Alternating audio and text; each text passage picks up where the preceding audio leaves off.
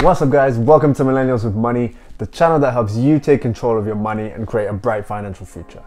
I'm Johnny and if you like today's video, make sure you hit the like button, click subscribe and the notification bell and tell another millennial.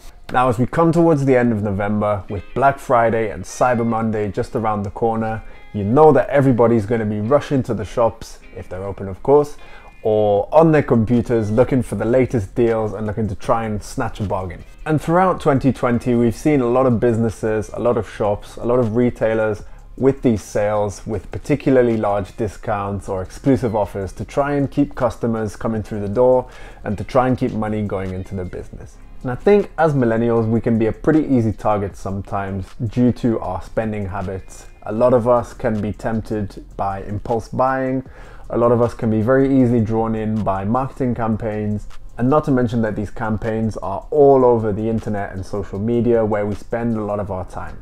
Don't get me wrong, I love a good sale, I love a chance to save money, but you gotta be aware of the sales techniques that some of these companies are using to get you to spend your money because you may end up actually being taken advantage of, not you being the one taking advantage of the sale, which is what you want.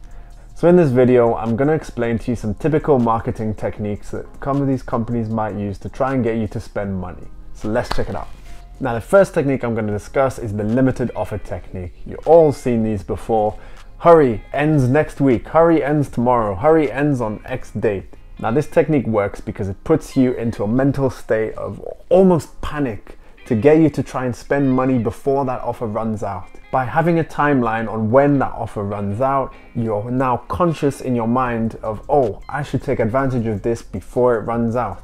And regardless of what the deal is, whether it's actually good or not, you're so concentrated on the time pressure and taking advantage of it before that you don't care in your mind, you won't see a deal this good again and you just want to get it done and go for it. My suggestion is ask yourself, do you really need the item that they're trying to sell you so bad before that time runs out on the offer? If the answer is yes, then give yourself a bit of time to think about it and shop around. Don't just look at this one retailer. You might find better quality somewhere else, or you might even find the same price somewhere else. And if you can't find any concrete, immediate need or justification that you need this item right now, discard, forget about it, move on.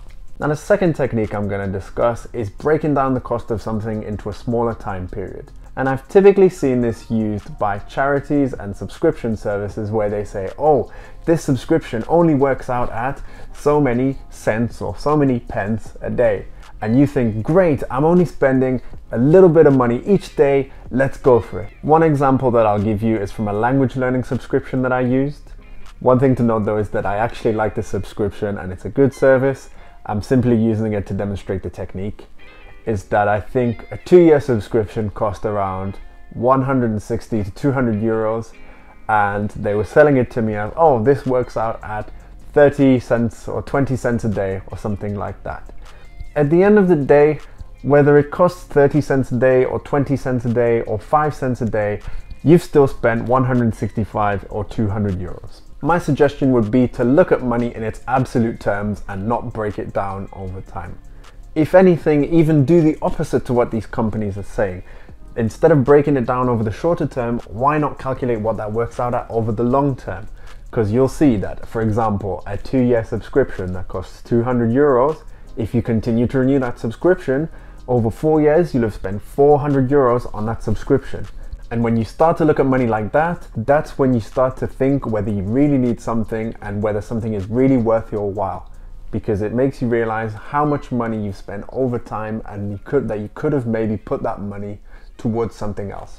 The third sales technique that you'll see is debt financing and you'll often see this when it comes to items such as furniture, such as if you're buying a car, if you're buying a new laptop or new electrical goods for example. Because the outright cost of these items is often so high, it can be in the thousands of pounds, dollars, euros, whatever your currency. So what a lot of sellers do is they'll offer you financing options and they'll say, you can have this for only so many hundred euros a month. And you think to yourself, great, I found a bargain. I found a way to afford this. But there's a catch. If you use something with debt financing, that means that there's going to be interest charged on top. So although your £200 a month payment might seem like an affordable solution now, when it works out over time that you've paid thousands of pounds more than you needed to, then you realize how debt financing has cost you extra money that you didn't need to spend on an item. And debt financing is a technique also employed by credit card companies. They want you to spend your money, and if you use debt financing, again, they can charge you interest on your balance, and that's how they make their money from interest payments. My suggestion for this is simple just pay the money up front. Don't turn to debt financing for such purchases and just pay the money up front, save yourself the interest. The fourth technique is free items. You know the classic buy one, get one free, two for the price of one, spend over so much money and you'll get a free something. Let's take an example where a takeout restaurant says free dessert. And then you see in the small print when you spend over 15 euros, 20 euros, whatever it is. First of all, do you really want the dessert? Do you actually want the dessert or do you just want to take advantage of the promotion because it looks nice? Second of all, if the promotion wasn't on, would you have spent extra money to buy items that gets you up to that total that makes you eligible? So for example, you buy a meal worth 10 euros and you think, oh, if I only spend 5 euros more, I get the free dessert. So you add on some sides, so some chips, some onion rings, for example. If the promo wasn't on, would you really have spent that money? Would you really have wanted to spend that money if there was no free dessert in it for you? And what's more, forget those extra items that you bought.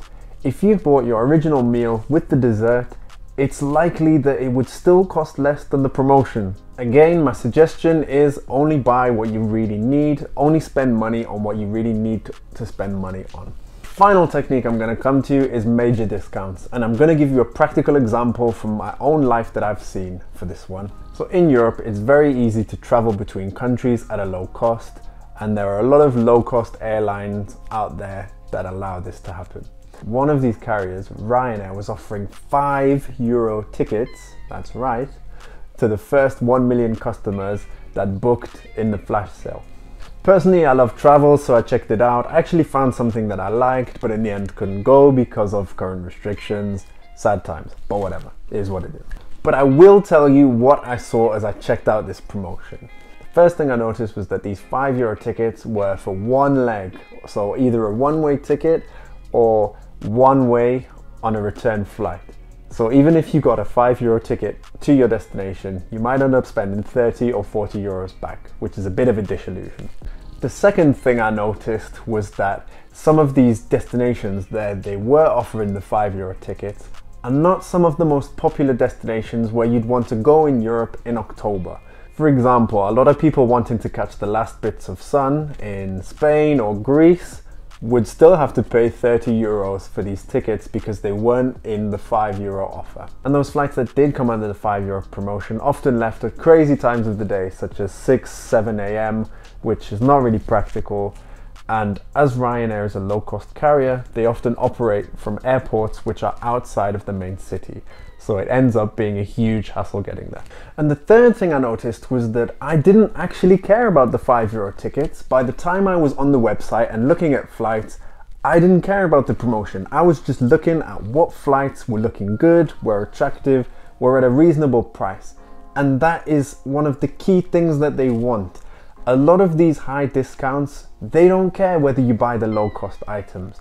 The low cost items, they just price them low and say, oh, from 5 euros.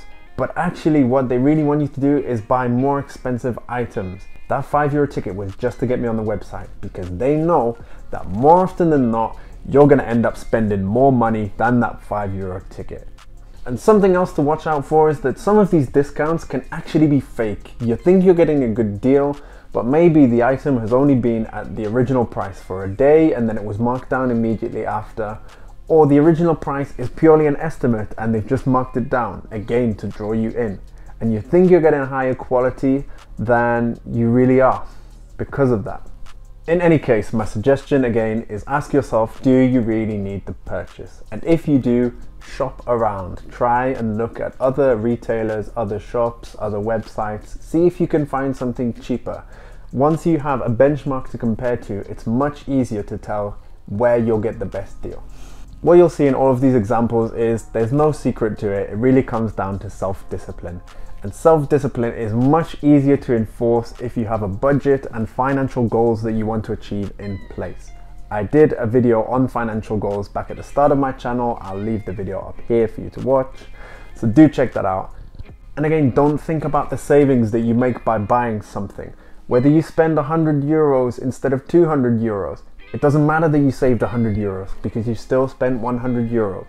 So to summarize this video, there's a lot of marketing techniques out there that retailers and businesses will use to try and get you to spend your money. Be aware of how they're trying to entice you into spending money that you don't necessarily need or want to spend. Have self-discipline and look for the most cost-effective options. That's all from today's video. I hope you enjoyed it. Be sure to check out the Millennials with Money social media and internet pages. I'll see you on the next video and let's get this money.